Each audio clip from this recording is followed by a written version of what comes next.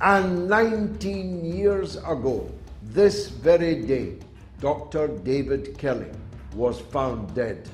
Found dead because he didn't necessarily die on that day, and definitely not on Harrowdown Hill where he was found.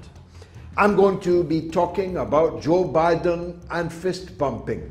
I'm going to be talking about the Conservative Party's leadership race, which is entering its later stages.